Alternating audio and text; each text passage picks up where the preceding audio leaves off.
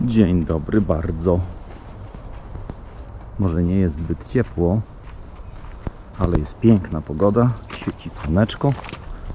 Ja wróciłem z Warszawy i pragnę nagrać Wam kolejny odcinek z kryptowalutami w plenerze.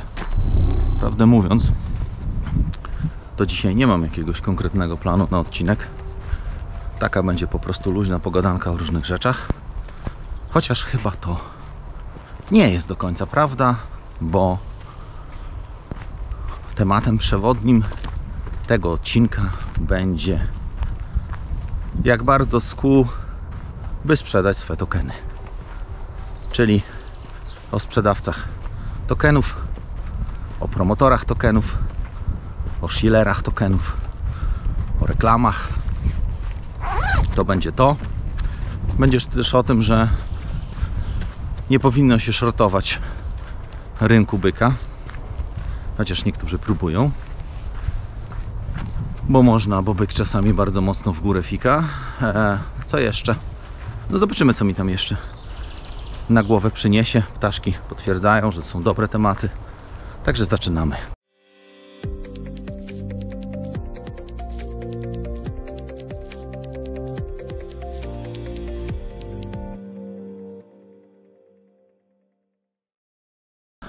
Jeżeli pytacie, gdzie jestem, bo czasami zapominam, to jestem na dzielnicy Pietrasze w Białymstoku. Łatwo poznać, bo tam jest ten komin elektrociepłowni. Więc jestem w tym lesie, gdzie już byłem wielokrotnie. Tu idzie linia energetyczna WN. No, za mną Pietrasze. Niedaleko Jaroszówka. Piękne miejsce. Także lubię to nagrywać. Spokój, cisza i właściwie 3 km od centrum miasta. Może pójdziemy do mojego ulubionego, klasycznego strumyczka, ale to jeszcze zobaczymy. Słońce świeci dosyć mocno, aczkolwiek powiem Wam, że jest chyba 7 stopni, dlatego kurtka, bo jednak, bo jednak jest jeszcze. Wczoraj do Warszawy jeździłem, może parę słów o tym. Wczoraj była e, ta konferencja Halving Bitcoina, gdzie miałem przyjemność i zaszczyt być prelegentem. E, braliśmy udział w panelu. Byłem ja, no i oczywiście e, takie znane osobistości, które dużo dłużej są ode mnie. Był Rafał Kiełbus, był profesor Krzysztof Piech, był Filip Pawczyński. Pogadaliśmy sobie o Bitcoinie. E, z góry, przepraszam, nie pamiętam imienia i nazwiska prowadzącego. Pogadaliśmy sobie o Bitcoinie, o halvingu, o wpływie i tak dalej, i tak. Pewne moje wypowiedzi się spodobały ludziom. No i oczywiście była to impreza organizowana przez The Polaków, przez Unikli, przez e, NFT Polska i tak dalej, i dalej. Także te wszystkie organizacje, no przez bitcoin.pl. Także te wszystkie organizacje tutaj organizowały taką imprezę, ale to jest fajnie, słuchajcie, jak się wychodzi, tak takie słoneczko, to jest po prostu pięknie. Także było fajnie i teraz trwa European Halving Party, e, które będzie połączone z Bitcoin Film Festivalem. Tu mnie akurat nie będzie. Nie wnikając w szczegóły, po prostu mnie nie będzie. Jeśli chodzi o takie najbliższe konferencje, gdzie ja będę, widzicie co, aż się kurde tak, powiem wam, że jak się ten cień wchodzi, to aż się robi tak rzeźko. To ja będę oczywiście u Joli we Wrocławiu na konferencji Cryptosphere 3.0. Później będę w Lublinie. Nie wiem, czy to do, mamy dodane do kalendarza, ale to będzie dzień przed Kryptostokiem, czyli 9 maja w dzień Pabiedy, jak to mówią niektórzy. Później 10 maja jest Kryptostok, a później jest NBX. I później chyba w czerwcu, o ile ja dobrze pamiętam, to w czerwcu jest e, chyba 14 Kryptostok. I na razie z planów bliższych to jest to tam, gdzie się wybieram. Oczywiście zapraszam na kryptonaród.pl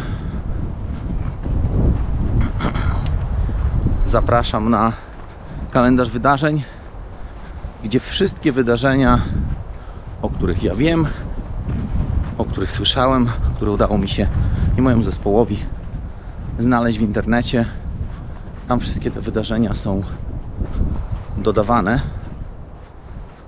jeśli chodzi o nasz kalendarz. Oczywiście organizatorzy niestety w zdecydowanej większości przypadków nie ułatwiają nam tych rzeczy, bo nie chce im się napisać informacji krótkiej, słuchaj, organizujesz, organizujemy wydarzenie, może dodałbyś do kalendarza, daj znać wcześniej, żeby ludzie wiedzieli i tak dalej, i tak dalej. No nie chce się, no. Wiecie, ja rozumiem, że w naszym polskim środowisku krypto jestem niespecjalnie znany. Mało kto mnie mało kto mnie tu zna. Jeszcze mniej osób mnie szanuje. Więc po prostu dodaję, tak? I a że o tym mówię, to może wy wpłyniecie na organizatorów. Może im się zachce nagle wysyłać. No bo wiem, że bardzo dużo osób korzysta z tego kalendarza. No i oczywiście, jeżeli ty widzu korzystasz z naszego kalendarza, który jest całkowicie darmowy, żeby nie było, to wrzuć komentarz. Korzystam z kalendarza albo coś w tym stylu. To jest tam. To jest taki jeden temat, który, który chciałem poruszyć. E, tokeny to może sobie zostawię na koniec, bo może to będzie dłuższy temat, a może nie każdy to interesuje. Pewnie będzie moje tam pitolenie i tam zawracanie gitary. A może teraz zajmijmy się rynkiem byka i shortowaniem rynku byka, które próbuję skutecznie tutaj zaor. Różne są wersje. Wiem, że wczoraj jak nim gadałem, to kakao już go przywaliło w kakao i generalnie już short na kakao się skończył. Nie margin callem, no ale sam pisał zresztą o tym. Został jeszcze bitcoin, no ale tak patrząc, oczywiście zawsze rynek może zrobić coś nieoczekiwanego. No ale wszystko wskazuje na to, że jest to, że jest to rynek niedźwiedzia. I wiecie, w rynku niedźwiedzia granie shorta, no to z mojego punktu widzenia jest to niespecjalny pomysł. Aczkolwiek pamiętajcie, ja zawsze mówię, i to jeszcze na dosyć dużej dźwigni. Kto dźwignią wojuje, od dźwigni ginie. Stare przyzłowie. Choć nie każdy się dowie. Więc Was przestrzegam przede wszystkim przed dźwignią, bo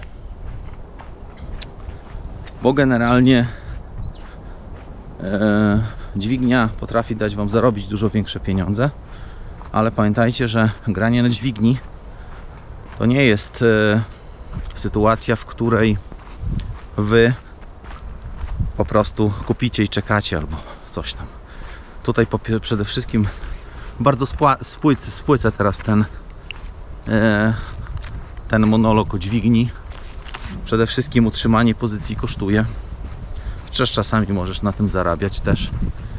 Po drugie, im większa dźwignia, tym mniejsza zmiana kursu w kierunku przeciwnym do tego, w którym grasz. Czyli jak grasz na wzrosty, longa, to spada.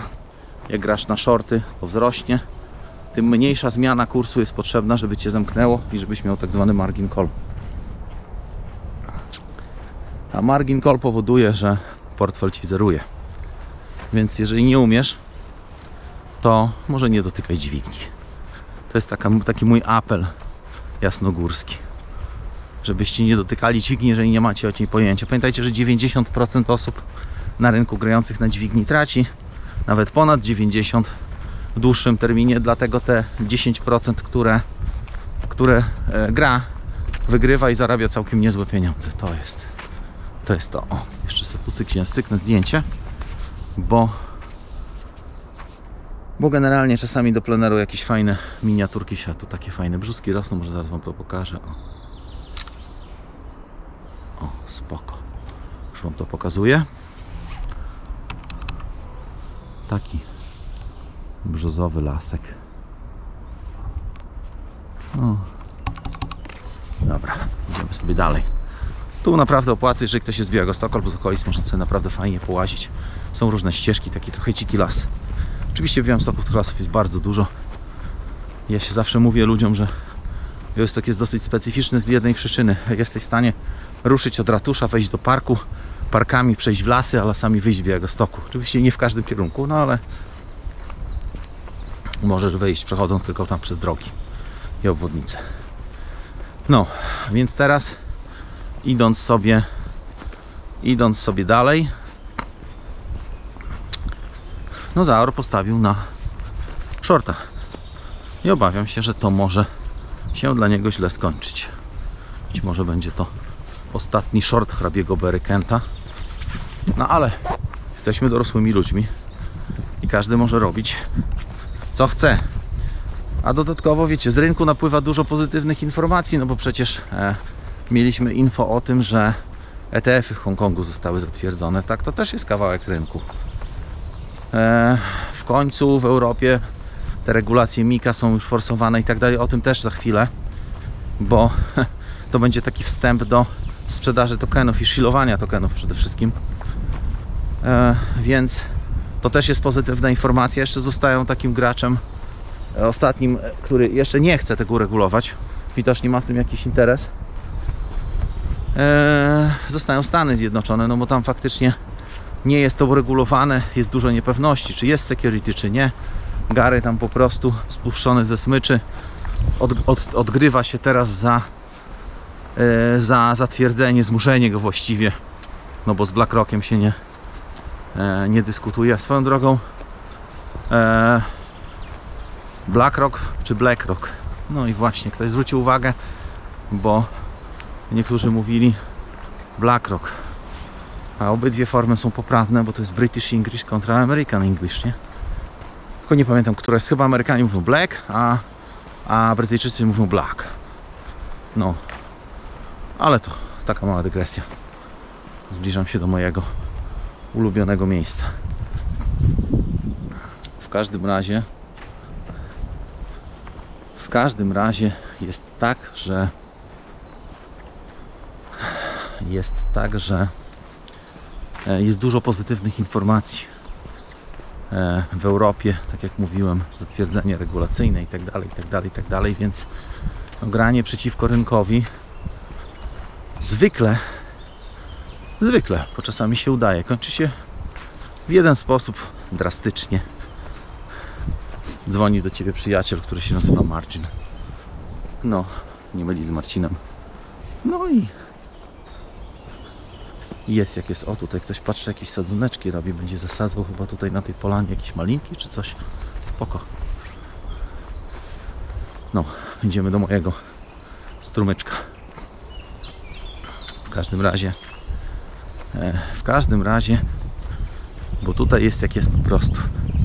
Jesteśmy dorosłymi ludźmi, a najgorszą rzeczą, jaką wy możecie zrobić, to jest kopiowanie kogoś. Najlepiej jest posłuchać śpiewu ptaków.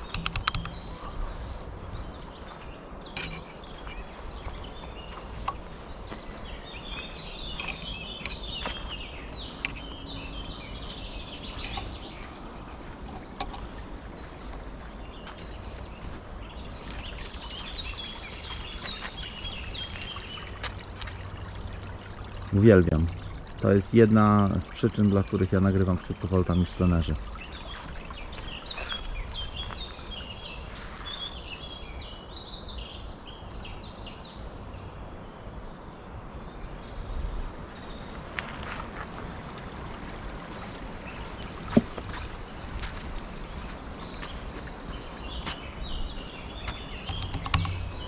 Oczywiście przyda się kolejne zdjęcie. Krypto w plenerze. Powiem Wam szczerze, może zrobię ten. Może zrobię takie trochę też na Instagrama. Przecież to trzeba być influ, nie?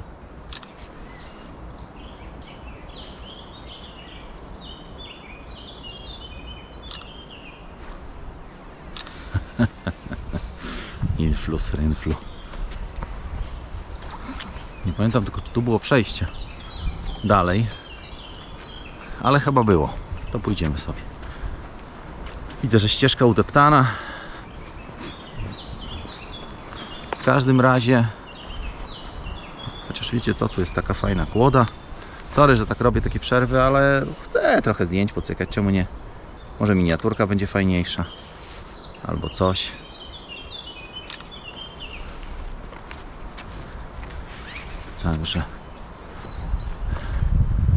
Naprawdę rynek póki co ma dużo pozytywnych wiadomości. Ja zresztą powtórzę po raz kolejny to, co powtarzałem wielokrotnie, że ten sentyment rynkowy on ma dosyć duże przesunięcie. I teraz na przykład dorzuciłem, dorzuciłem trochę więcej swojej teorii, a mianowicie, a mianowicie, że mamy trzy parametry, tak to nazwijmy.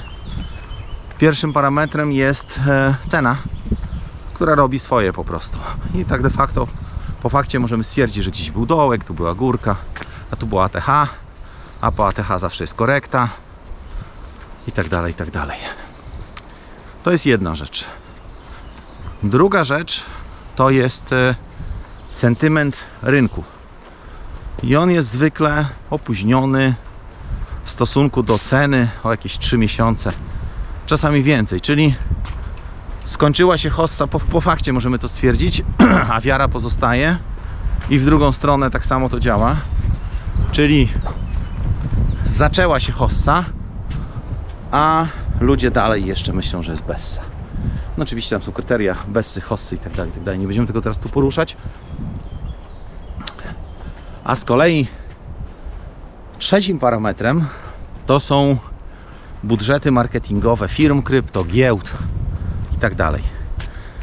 To jest przesunięte o 3 miesiące minimum w stosunku do w stosunku do sentymentu. Czyli najpierw pojawia się sentyment, a później pojawiają się nagle większe budżety, jest więcej reklam i tak dalej, i tak dalej. Czasami mam wrażenie, że w tych firmach to działają Janusze marketingu, bo ile ja mam prostą zasadę, że mam swoje stawki, jak komuś to nie pasuje, to może iść gdzie indziej. O tyle z wieloma influencerami, którzy żyją z tego i jeżeli im się nie zapłaci, to nie będą mieli na chleb do pierwszego, no to są w stanie zgodzić się na niższe stawki, żeby tylko mieć, złapać jakąś współpracę. Niektórzy biorą wszystko, nie patrzą i tak dalej, i tak dalej. No i teraz najlepiej się umowy podpisuje w Bessie, bo można wtedy, jak to się mówi, można wtedy podpisać le na lepszych warunkach umowę z punktu widzenia projektu, czy giełdy, czy czegokolwiek. Można e, lepsze warunki wynegocjować. A oni mam wrażenie, że robią odwrotnie. Jak już jest rynek nagrzany, to wtedy oni się biorą za marketing. No i sprawa, takich pieniędzy. No i teraz teraz przejdźmy do punktu wisienki na torcie dzisiejszego odcinka, żeby powiedzieć o tym jasno. Powtórzę tytuł odcinka, już teraz mogąc to powiedzieć wprost, jak bardzo skurwisz się, by sprzedać swe tokeny. Dotyczy to zarówno projektów, jak i jak i ludzi, którzy shilują. Może zacznijmy od tego, czym jest shilowanie. I jeszcze, zanim to zaczniemy, taki zrobimy mały, mały odskok w bok. Wczoraj rozmawiając z jedną osobą, z prawnikiem, dowiedziałem się coś, co mnie bardzo ucieszyło, bo słuchajcie, może być dobra zmiana, chociaż ona bardzo się w Polsce pejoratywnie kojarzy. A mianowicie KNF może wziąć się za dupę youtuberom. Więc cieszcie się i radujcie, bo nie znacie dnia ani godziny, kiedy UKNF po Schillerów przyjdzie. Jest tam taki zapis, że youtuberzy mogą zostać podciągnięci pod doradztwo finansowe. Ale zaraz, zaraz.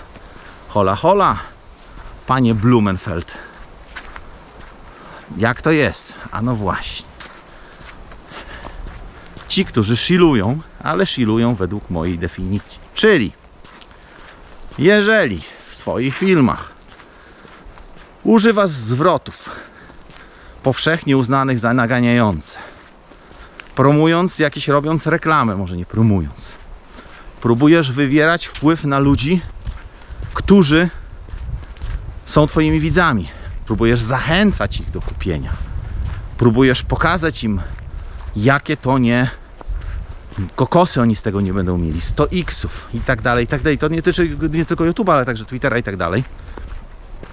Zamiast w neutralny sposób, jak najbardziej neutralnym językiem przedstawić produkt, a już nie daj Boże, ukrywasz to, że jest to reklama, no to można wtedy zaśpiewać piosenkę, niektórych to obrazi. UKNF już się zbliża, już puka do mych drzwi, więc trzeba na to zwrócić uwagę. Dlaczego ja się z tego cieszę? Oczywiście ja nie cieszę się z krzywdy ludzi, ale cieszę się, że w ktoś, ktoś, oczywiście pamiętajcie, że oszuści pozostaną oszustami, ale być może niektórzy się zastanowią. Tak jak UOKiK zaczął robić kampanię o tym, że masz oznaczać reklamy i nawet w naszym środowisku krypto wiele osób wiele osób e, wiele osób e, dalej nie oznacza reklam, choć powinno. Ukrywa to, że współpracuje.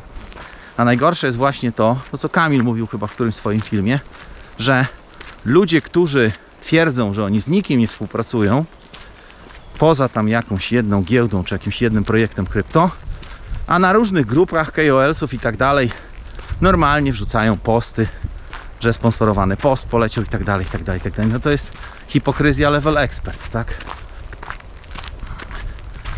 I teraz w momencie, kiedy znaczy to będzie wszystko do momentu, gdy faktycznie wydarzyłaby się taka sytuacja, w której KNF wziąłby się za dupę któremuś i powiedział, proszę pana, a żeby zostać, bo można będzie to zrobić, żeby zostać doradcą finansowym, trzeba będzie przejść jakiś tam kurs, zdać egzamin i tak dalej, i tak dalej. Zastanawiam się, jak to będzie wyglądało i jak to będzie wyglądało w krypto. No i teraz to może spowodować popłoch e, wśród różnego rodzaju influ, nie influ, tych ludzi, którzy chcą właśnie, żebyście wy byli tymi bezmózgimi matołami, o czym mówiłem w poprzednim odcinku Krypto w Plenerze, żebyście wy słuchali ich jak i to co wszystko, co oni powiedzą, to żeby to było jak amen w pacierzu. No więc teraz KNF pomacha paluszkiem i powie zaraz, zaraz, proszę pana. Dlaczego pan powiedział tutaj, że pana zdaniem to jest potencjał na 100 xów, tak? Czy pan chciał wywrzeć wpływ na ludzi? No więc niektórzy będą bardzo mocno musieli zmienić swój język, styl pisania i tak dalej. A to może się nie spodobać ich fanom. A niektóre osoby, nieskromnie mówiąc, takie jak na przykład ja, nie będą musiały robić nic. No i zobaczymy wtedy, jak przyjdzie, jak KNF zabierze wodę, kto pływał nago. No, to tak wstępem. A dlaczego ja temu kibicuję? Bo to, co się odpierdala za przeproszeniem na Twitterze i na YouTubie, to czasami nóż w kieszeni się otwiera i nieoznaczenie reklam jest najmniejszym z problemów. Wiecie, co było największą patologią? To co, znaczy tak, jedną z patologii jest to, że wy niestety, być może nie wy konkretnie, być może tylko niektórzy z wych, a może mam nadzieję i składam pieśni yy, proszące o to, żebyście wśród was nie było nikogo, kto racjonalizuje, czy też uczłowiecza, czy też e, jakiego by tu słowa użyć, czy też e,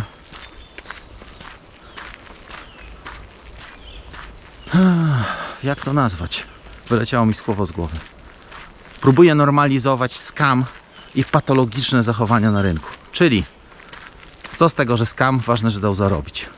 Bo ja jestem lepszy od innych i ja potrafię wyjść i zarobić zanim oni, bo oni potracą, tak? Jedna patologiczna sytuacja. Druga patologiczna sytuacja, świeży temat, gdzie jeden z projektów krypto ukrywał informacje i mam potwierdzenie, że było to ukryte. Nie pierdolcie, że nie było, tak? Gdzieś to było tam zaszyte głęboko, ale w tokenomii na stronie tego nie było. Być może się to teraz zmieniło, że KOL-si, czyli Influ, dostali 25% 25% tokenów w dobrych cenach i wyście nie wiedzieli o tej informacji. No to przepraszam Cię bardzo. Jaki dziwnym trafem Mike Satoshi nie współpracował z tym projektem akurat. No. I kolejna sprawa. Podatek 2%, który, czyli jeżeli Ty wpłacisz 100 zł, to 2 zł od tego dostaje Influ. Okej, były tłumaczenia, że tam niektórzy się dzielili i tak dalej, i tak dalej, ale przepraszam, to Ty się chwalisz, że Ty się kurwa podzieliłeś ze mną moimi własnymi pieniędzmi? I ja mam Cię chwalić z tego powodu? Czy Ty jesteś, żeś Ty się Pawlak szaleju najadł? No sorry, ale ja rozumiem budżety marketingowe, czyli przykładowo za każdą rejestrację jest jakaś kasa. No jakiś tam inwestor w ten projekt płaci za to, powiedzmy jakiś seedowy, czy, czy tak jak PayPal miał, za każdą rejestrację ileś tam kasy, czy nie wiem, za to, że ktoś się swojego linka zarejestruje, dostajesz jakieś pieniądze, tak? Albo na przykład tak jak Crypto.com miało both get, czyli i ty dostawałeś, to na początku chyba było 50 dolarów albo 100, a później do 25 zmniejszyli. I to chyba do dzisiaj jest. Oczywiście dostajesz to w tokenach i tak dalej, ale tokeny możesz spieniężyć od razu, nie? No okej. Okay. Nie ma, te pieniądze nie powstają z nieba. No w przypadku tokenów można dyskutować, ale ja pierdzielę. Jeżeli ty dostajesz procent od wpłaty gościa, no to stary, panie Blumenfeld, kurwa, to jest piramida finansowa. Przynajmniej częściowo. Ja mam coś kogoś takiego nie krytykować? O czym my tu mówimy? To jest kurwa normalna piramida finansowa. Jeżeli dostajesz kasę od tego, że procent tej kasy, bo gdybyś dostawał stałą kwotę, okej, okay. to jest osobny temat. Przyciągnąłeś klienta, firma ci płaci. A tu jest projekt krypto. Ja nie twierdzę, że projekt krypto jest ten skamem, że to jest jakaś coś, tylko że pewne zachowania ma patologiczne i jeszcze to plus ukrycie tego, no to sorry. I wy próbujecie normalizować kurwa skam, to przepraszam bardzo. To o czym my tu mówimy? To sorry, ale ja wysiadam. Ja się nie bawię w takie rzeczy. I zawsze będę takie rzeczy krytykował. No bo to jest. Bo to jest, sorry, ale. Skurwienie się za tokeny. To już o zasadach nie możemy rozmawiać. Przepraszam bardzo. Do punktu czerpania wody. To właśnie chyba tam muszę iść. Bo to jest jakiś parking, tak? Ja chcę iść do punktu czerpania wody. No, a to, że influ to są influ i ktoś do mnie dzwoni, więc muszę zrobić pauzę. Sorry za krótką pauzę. Kurier dzwonił, przyjechał. Będą kotki szczęśliwe, bo dostały właśnie paczkę jedzenia. No. I teraz zrobię reklamę, nie reklamę, bo, za którą mi nikt nie zapłacił. Jedzenie kotom zamawiam z Zooplus. Dużo różnych fajnych rzeczy, jest dużo producentów. Także jeżeli ktoś ma kotka, a właśnie jeżeli macie kota albo psa, to powiedzcie, podzielcie się informacjami, jakie jedzenie stosujecie, w sensie, czy sami na przykład gotujecie mięso e, kotom, czy tam robicie, bo koty też surowe mogą jeść, chociaż trzeba uważać, żeby tam jakichś dziwnych bakterii, czy psy. E, podzielcie się w komentarzach. Taki call to action. E, właśnie, i teraz ukrywanie informacji. Jeżeli ty wiesz, ok, jak ktoś nie wiedział, no nie wiedział, no. Mógł się dowiedzieć po czasie, też dopuszczam taką możliwość. Jeżeli ktoś jasno, oficjalnie powiedział o tym, że no dostałem za to tokeny, bo chodzi o tą transparentność, tak? Z tego co mnie to tam Maciek Tomczyk mówił, że on informował o tym. No i ja mówię Maciek, no się trochę odpalił chłopak, no to jest ok. Jeżeli powiedziałeś i ludzie uważają, że to jest ok, no to kurwa, no ja nie będę świata zbawiał, tak? No chcą, to chcą, tak? Ja w takie rzeczy nie wchodzę. W takie zachowania. W procenty od wpłaty kogoś. Bo mieliśmy takie, szczególnie w Hoście 17 roku. Był taki pan Damian Rzet, który promował wraz ze swoją grupą, to się nazywało Be Free Team, B3 Team i oni promowali różnego rodzaju rzeczy, którym nikt nie zaprzeczy.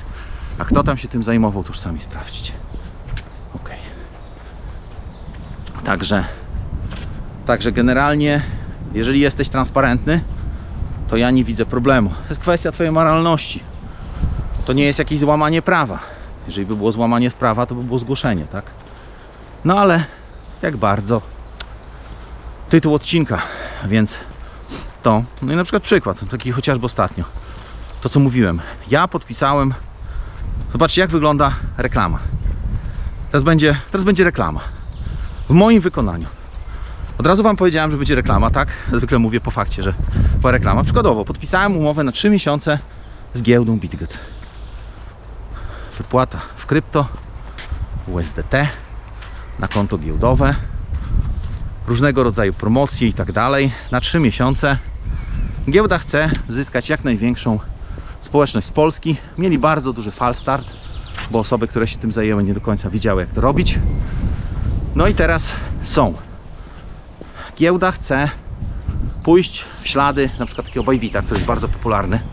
No trochę się na rynku miejsca zrobiło, jak Binance trochę dostał. Więc różne promocje. Ostatnio był film o Bybit Wallet. Fu, przepraszam. Kurwa, walnąłem gafę. BitGet Wallet. Portfel non-custodialny. Mi się osobiście podoba.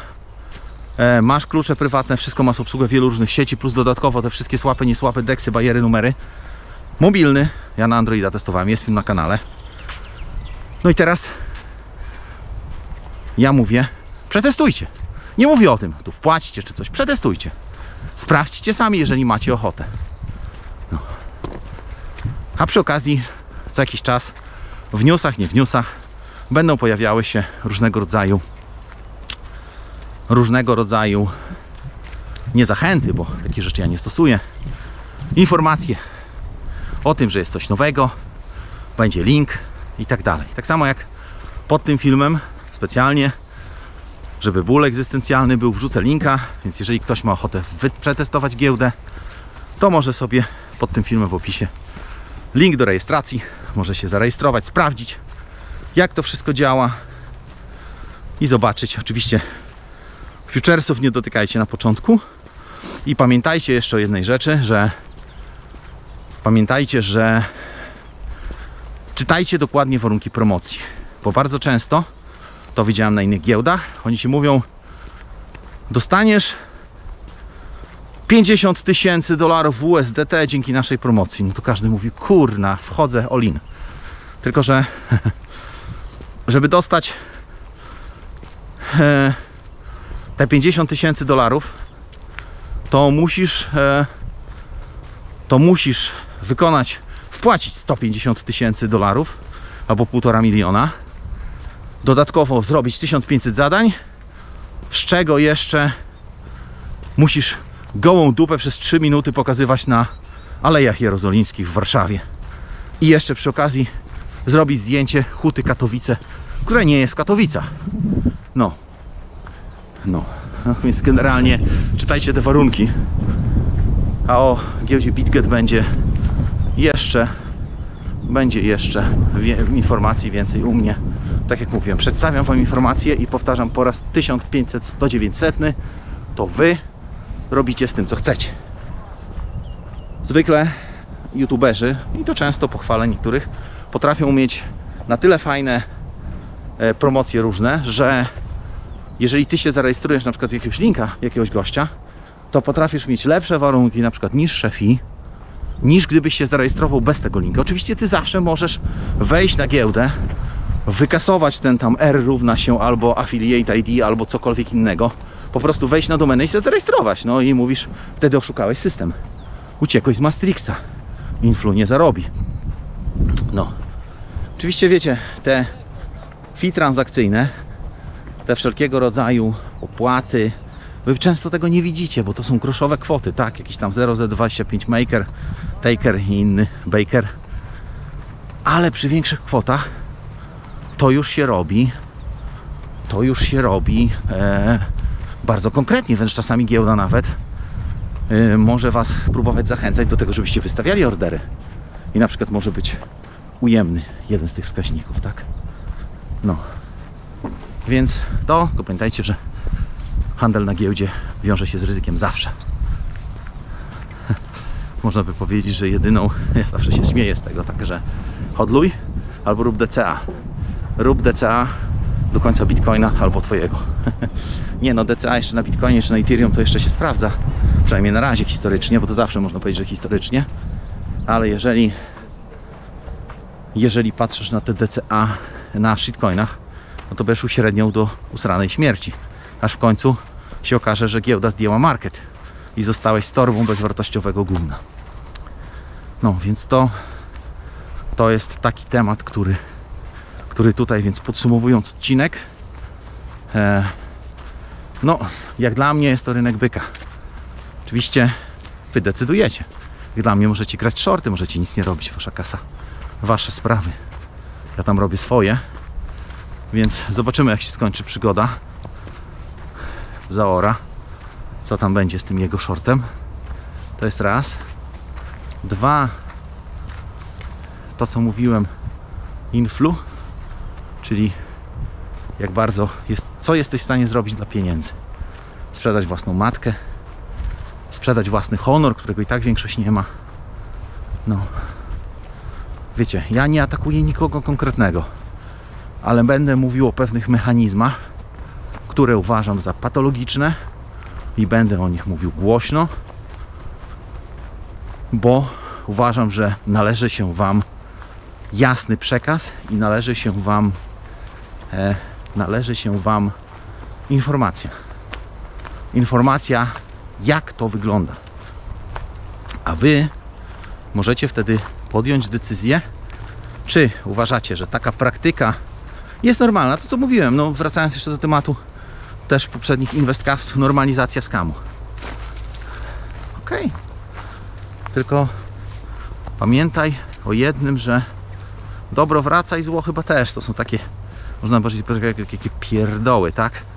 A tam gruba coś tam pierdzieli od rzeczy, tam dobro wraca, sraca. Ja tego wielokrotnie doświadczyłem w życiu. W najmniej oczekiwanych momentach. E, bo naprawdę nigdy nie wiesz, kiedy ty będziesz potrzebował pomocy i tak samo zło. Kto sieje wiatr, zbiera burzę. Najlepszy ostatni przykład mieli chłopaki z Dubaju, nie? Zasiali sobie. Kurna, gdzie ja polazłem? Zaraz się okaże, że nie tu, gdzie trzeba, ale może. Tu jest ten mur, tu jest ta polanka, to ja chyba powinienem pójść tam, albo tam. no dobra, gdzieś wyjdziemy. W każdym razie skamisz, skamisz, skamił wilk razy kilka, oskamili wilka.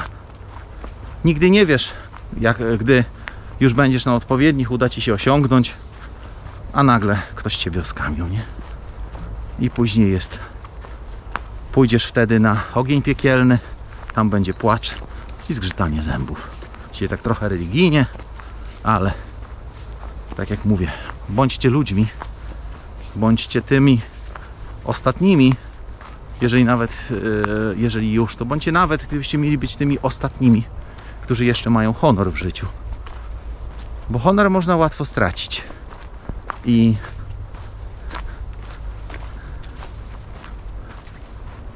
to też jest tak, że nie każdy się bogaci, który swój honor traci.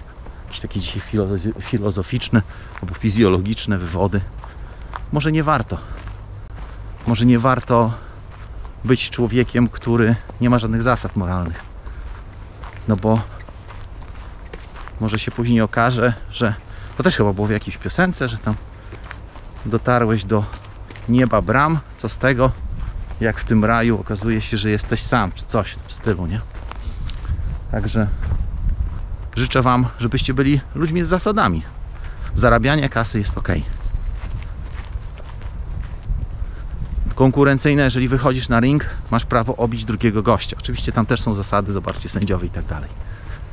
Krzywda drugiemu człowiekowi robi z ciebie tylko po prostu zwykłą szmatę. a nie człowieka. Także, ale to może materiał na inny odcinek. Tak trochę nostalgiczno. E, No, dobrze myślałem, że źle wyszedłem. Wylazłem do jakichś domków. Dobra, jeszcze, jeszcze chwilę do Was pogadam. Więc bądźcie ludźmi z zasadami w świecie, w którym coraz mniej osób ma zasady. Bo to naprawdę niektórzy i myślę, że większość, albo przynajmniej część osób w moim wieku, starszych ode mnie, pewne, pewne zasady wyniosła z domu. No i tego, ale można się tego nauczyć. No ale to mówię, to jest kwestia indywidualna, to jest kwestia moralności, kwestia tego, jak wy do tego podchodzicie. Jeżeli uważacie, że okradanie innych ludzi jest dobre, to ze mną nigdy po drodze być mieć nie będziecie. No i tyle. Pozdrawiam, trzymajcie się i cześć.